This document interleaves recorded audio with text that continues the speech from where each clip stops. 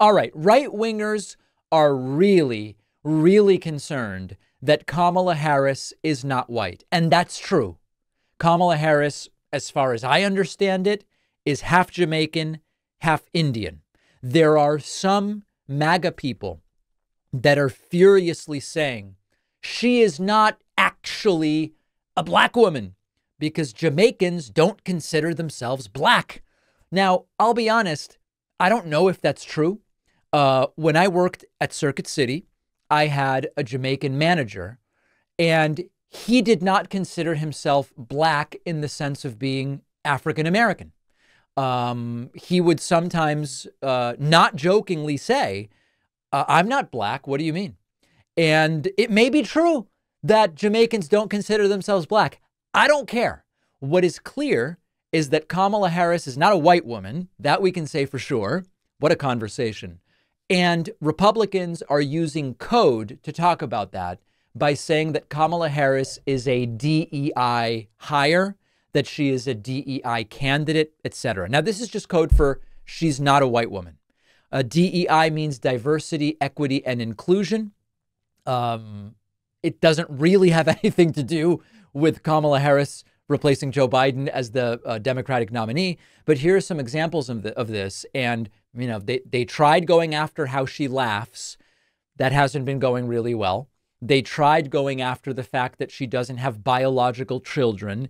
That hasn't gone really well in the context of this right wing effort to repress uh, women's bodily autonomy in a medical and reproductive context. So now they're going on to it's effectively affirmative action. She wouldn't be here if she were a white woman. Here is Larry Kudlow, former Trump economic advisor on Fox Business, uh, making this argument.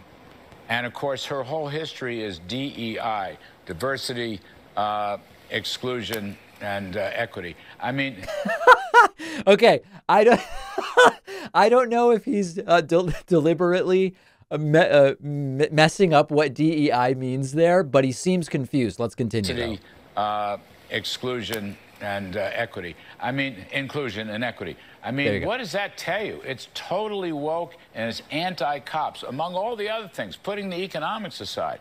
More DEI, defund the police, def- uh, eliminate ICE, never even talk to the chiefs of the Border Patrol. I mean, really?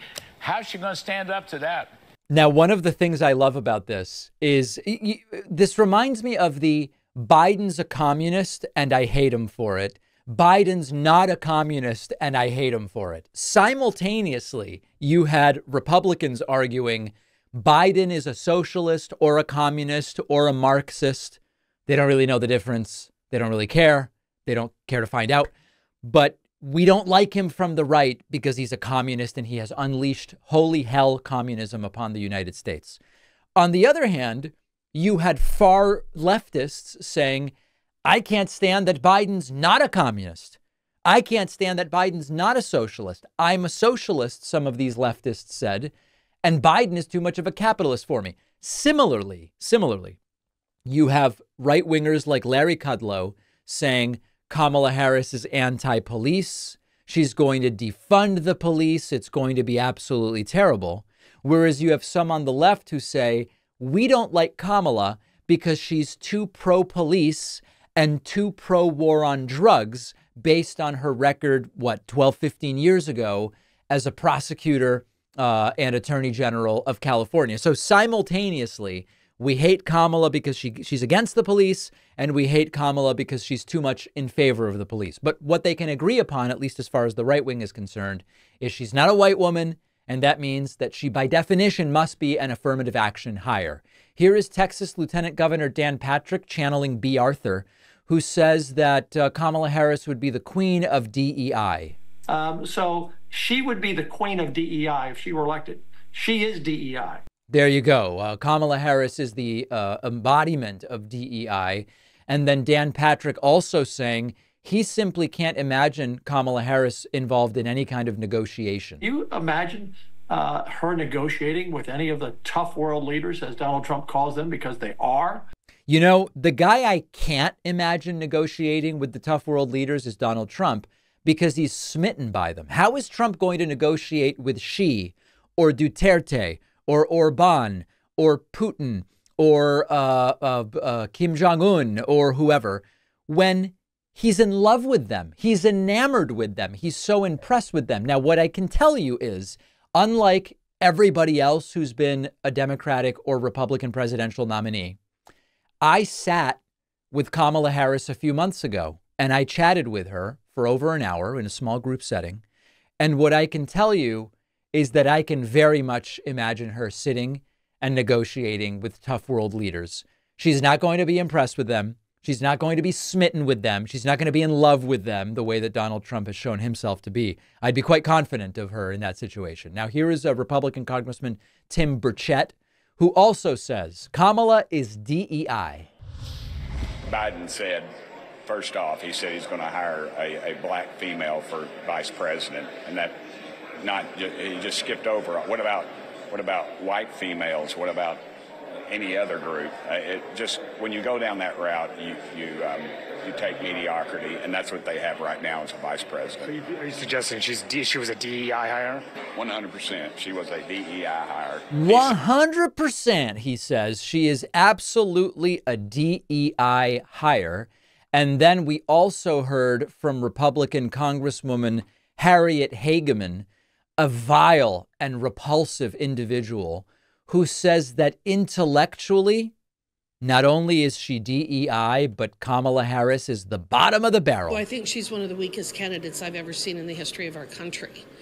Uh, have you met Sarah Palin? Uh, I, I mean, intellectually, just really kind of the bottom of the barrel and from the standpoint of just uh, who she is and the policies, the positions that she's taken, uh, her failure to do anything in terms of the border, that sort of thing, I think it's just a failure from top to bottom. Uh, I think she was a DEI hire, and I think that that's what we're seeing. And there you go. She is a DEI hire. And finally, finally, Jesse Watters with the same sort of thing. The only reason Kamala's in the White House is because of the DEI deal Biden cut with Bernie to seal the nomination. So this is all code for Kamala Harris wouldn't be here if she were white. Implicit in that is, of course, that Donald Trump must be qualified, while Kamala Harris clearly is not. They also usually mispronounce Kamala Harris's name. And at this point, I don't know if that's on purpose or if they simply uh, don't. If if they are so bottom of the barrel, to quote Harriet Hageman, that uh, they just can't figure out how to pronounce her name. So this is going to be a theme. The themes so far are she laughs funny, she doesn't have biological children, and if she were white, she wouldn't be here. Will this work to defeat Kamala Harris in November? That's the question. Let me know your thoughts. Info at davidpakman.com. If you've been thinking about getting a new mattress, Helix Sleep is where I would start. I've been sleeping on Helix mattresses for years now. I recommend Helix to everyone, which is why I wanted them as a sponsor. If you don't want to take my word for it, Helix has been awarded number one mattress by both GQ and Wired magazine. And one of the things that makes Helix unique is their sleep quiz. I didn't really know what kind of mattress would be best for me but you do this short sleep quiz. You answer questions about your body type and your preferences, what position you like to sleep in. And Helix will match you with the perfect mattress for you. So you know you're actually getting something tailored to your needs instead of going in blind like most people do. I got my Helix mattress designed to stay cool at night since I hate getting hot while I sleep. Shipping is always free. You get 100 nights to decide whether you like it. Right now, for a limited time, Helix is offering up to 30% off all mattress orders and two free pillows. It's the biggest discount they've ever offered. Go to helixsleep.com slash Pakman. The link is in the description.